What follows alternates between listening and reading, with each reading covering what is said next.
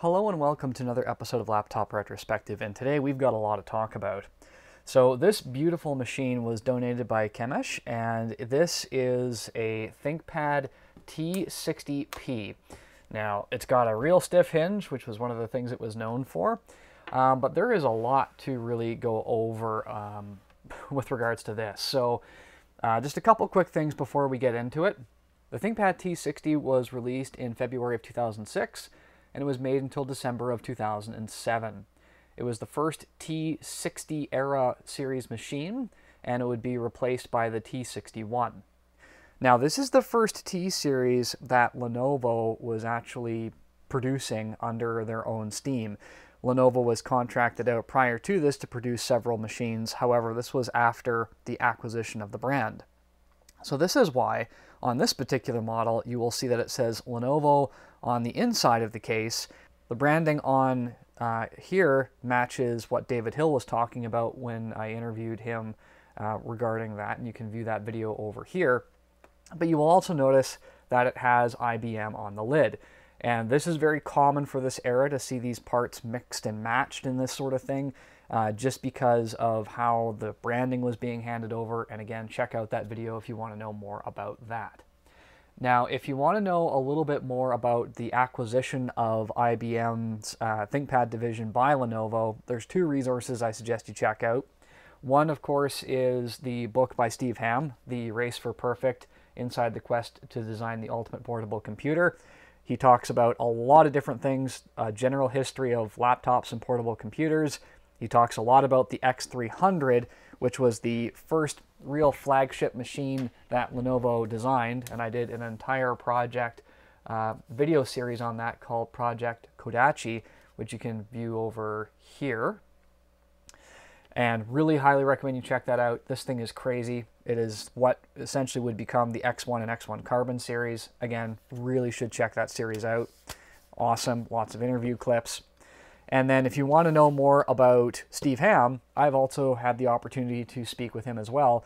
So if you want to know more about that, I'll leave a link over here and all of the links to all this other stuff will be in the description down. Let's change our focus to the T60. So two variants were made, the T60 and the T60P, which you see here in front of you. The T60P was essentially the top shelf uh, version. It had a whole bunch of really intense uh, things going on in there. You could get it in the T60 series. Uh, the really unique things would be the screen and the graphics cards, but we'll get to that in a minute. So the T60 brought a lot of new things uh, to the ThinkPad lineup. It would bring things like the UltraNav button configuration that we see here. It would bring uh, SATA hard drives and the Windows key to the keyboard. Now beyond the two major variants, there were three screen sizes available, a 14 inch, a 15 inch, uh, which were both in 4x3, and then a 15.4 inch widescreen 16 by 10, which is actually this beautiful panel here. Now, the T60 had uh, all three of the panels available. It had a 14.1 inch uh, 4x3, and I'll list the resolutions up on the screen. It had a 15 inch 4x3, and then it had a 15.4 inch uh, 16 by 10 the T60P is unique in the sense it has a 15.4 inch 1920 by 1200 16 by 10 panel.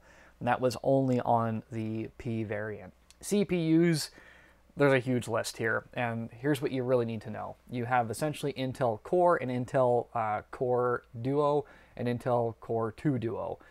Uh, and I'll just list them all up on the screen for your reference. Now, this is a socketed CPU, so other CPUs can go in there. Uh, the most compatibility you're going to get is if you have a revision 3 motherboard, and you can use CPU-Z uh, to find that out. GPUs would depend entirely on the uh, size of the chassis and the CPU, um, but essentially what you're looking at is the Intel Graphics Media Accelerator 950 or the ATI X1300, 1400, or VS uh, series of GPUs. Now, when we're talking about the T60P, you have the choice of the ATI Mobility FireGL V5200 or V5250. Now, these are essentially rebranded um, X series cards like you would get on the normal T60, at least that's what I've read online. um, but they are still better than what you would get in the standard T60. RAM was 4 gigabytes, two sticks of 2. Uh, however, it is in most instances throttled to 3 gigabytes. There may be aftermarket BIOSes that you can install to get the full 4 gigs, but there is a, a, a lot of stuff to get in your way there. So with that being said, let's just do a quick tour of some ports and features. Now, this one's pretty much fully specced out, and we know that because it has the extra goodies like Bluetooth, it has the fingerprint reader in the palm rest. Uh, these weren't coming with uh, web cameras. Uh, they had a ThinkLight up at the top, as you would expect from a ThinkPad of this era. You had some upward firing speakers. You had the UltraNav set up with the buttons on the palm rest, and then your dedicated buttons for track point, including middle mouse. Closing the machine, the display latches kick in and work uh, very nicely. We do have indicators for sleep, charge, and battery. And now onto the ports. On the left-hand side, we've got VGA, 56K modem, Ethernet, and dedicated microphone and headphone jacks.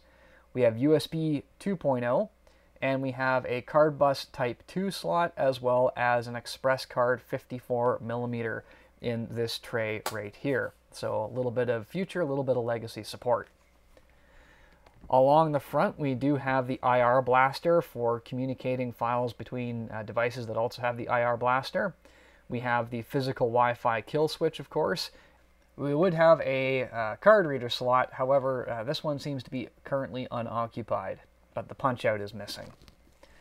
Along the back, we have the power plug, standard barrel, and then over here, we've got an additional uh, USB, uh, two USB 2.0 ports, and then we have the UltraBay Slim. And of course, the UltraBay Slim is hot swappable, so we just pull that, and out it comes. And then this is the DVD multi, and you could also get the uh, a DVD-ROM, a CDRW DVD-ROM, and then the uh, Super multi-burner, um, which I believe this might also be a revision of that. And with all of that reassembled, let's turn this thing over and talk a little bit about what we see on the bottom as well. We do have a docking connector, which will support the advanced dock, the advanced mini dock, and then the essential port replicator. Batteries came in a variety of different configurations. This one here, uh, the battery catch has been unfortunately damaged, and will require a tool to remove, which is why we're leaving it for disassembly. So disassembly is pretty standard if you've ever opened up a ThinkPad before. This extended battery is the 85 watt hour option. And once that is out of the way, uh, you're noticing that there's not a whole lot of uh, bays and doors for us to open. So we'll just move over here and remove the screw for the hard disk drive bay and I believe that this has actually been upgraded because it is SATA uh, to give us something a little bit speedier.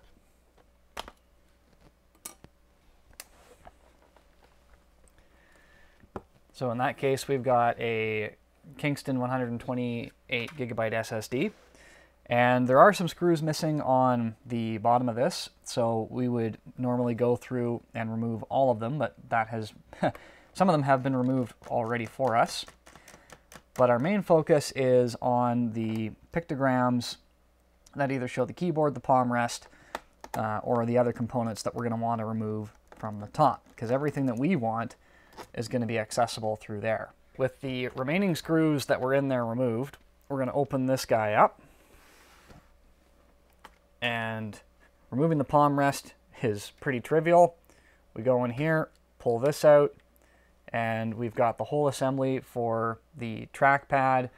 And then we see the expansion cable that goes over to the module for the fingerprint reader. And that's all handled through this one cable. So a retrofit is a bit more involved. You're pretty much replacing every component on the bottom of the uh, palm rest keyboard is pretty easy you just kind of wiggle it free and it looks like this is going to be a move off to the left And there we go.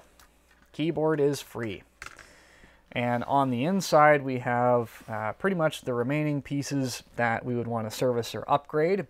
We do have our two uh, sticks of RAM here, so we've got uh, two uh, one gigabyte sticks uh, for a total of two. So that is uh, well on your way, 67% on what was officially supported. You do have a CMOS battery. We do have our Wi-Fi card and all of the antennas there. That should be our 56K modem card, I suspect, or it might be Bluetooth, one of the two. It's probably written on here on the FRU somewhere. And then, of course, we have the whole uh, heatsink assembly that we can remove, and if we wanted to swap out the CPU, that's exactly how we would do it. Uh, to get better access, of course, we would need to finish off by removing the rest of the trim piece here. But that's pretty much it. Like you can see that this is uh, probably better built on the inside than it was the outside because like this roll cage uh, is in all of the right places, very durable. Uh, the plastics, not so much. They were still working on that. So you can kind of see that this one's got some battle damage, especially on the screen bezels. But hey, uh, this machine probably didn't live a very cushy life. It was owned by a company. There's some stickers on the bottom to prove that. Uh, but overall, it's a pretty pretty good first effort, and these machines are kind of well loved. If we're looking for a retro machine that is kind of enjoyed in terms of modding as much as like the T430 is, it's probably the T60. And uh, it's pretty easy to see why. Very easy to work on, uh, some very super durable components, really cool. So let's put all of this back together, uh, turn this machine on, and uh, we might do some gaming on it. So just give me one moment. All right, let's power this thing on.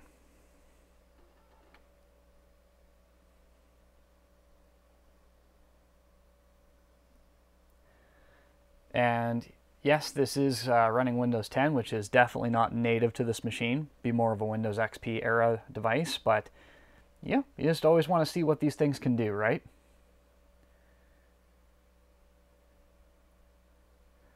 And that's not too shabby. All right, to have a little bit of fun, I thought we would try out a 3D game. And this, of course, is Emperor Battle for Dune, as you can read. And this was like one of the last games that Westwood kind of made before they were completely swallowed up by EA. And while the system requirements, the minimum system requirements are quite low, I remember playing this on a computer that should have been able to play it back in the day, and it ran like a pig. Uh, so I'm really excited to see what 256 megabytes of uh, dedicated video memory uh, will do in terms of performance. Let's go ahead and get this on that drive and see how it performs.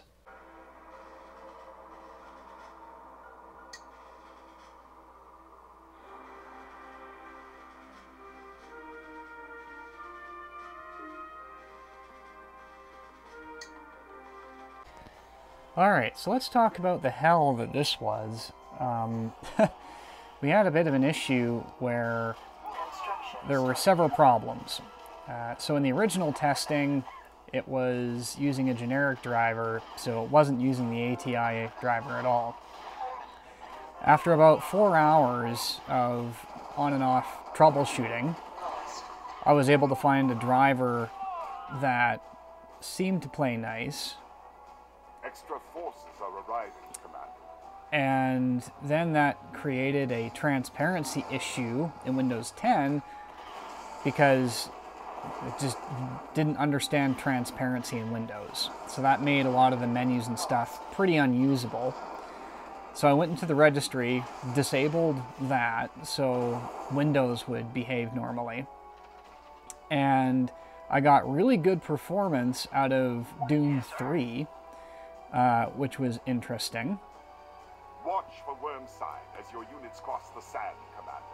Let's go. So Doom 3 was playing nice, no issues there uh, at all. Uh, however, I would launch Emperor Battle for Dune, I would launch uh, Call of Duty 1, and neither one of them would work correctly. Uh, they just uh, had different artifacting, glitches, you name it. So the only way that I could uh, think to get around that was to use uh, dgVoodoo and just run the entire thing in a container and then drop the settings down to about medium. Now, it'll look like this thing is chugging, but it's just reading from the CD. That, the game always kind of done that. Destroy the base, Commander. The moral of the story is, is that if you're going to use a T60 um, for anything graphically intensive, uh, no matter what you do, um, do not install Windows 10 like I did. Because uh, you will be in for a grand old time of just fights. Uh, and hey, if you're into that sort of thing and you want to maybe figure out a better way of doing this than I have, then by all means, please do. And uh, let me know in the comments section how successful you were. And I don't mean that tongue in cheek. I actually want to know if you're actually able to do this better than I was able to. Uh, but this seems to be uh, very playable now. Um, but like I said, Doom 3 was working just fine. Call of Duty 1 wasn't. Probably too old. I suspect I need to use dgVoodoo with that as well. Bit of a learning curve. Lots to figure out. So overall, ladies and gentlemen, I think that the T60, unless you are going to be running a Linux distribution, um, is teetering very much the line of a retro machine simply because of all of the stuff that you have to do to get it running a modern operating system, at least what I had to do. I suspect that there are other people out there that are going to have way more luck than I did with just getting one of these things set up, but my experience is my experience. I hope you've enjoyed taking a look at this uh, beautiful laptop. Thanks to Kemish for donating it to the channel great specimen. And if you do have stories, and I know there will be a lot about the T60 or T60P, make sure you're firing them down into that comment section. And if you did enjoy the video, then make sure that you're doing all the YouTube stuff that helps the channel grow over there as well. Thank you so much, and I look forward to seeing you next time.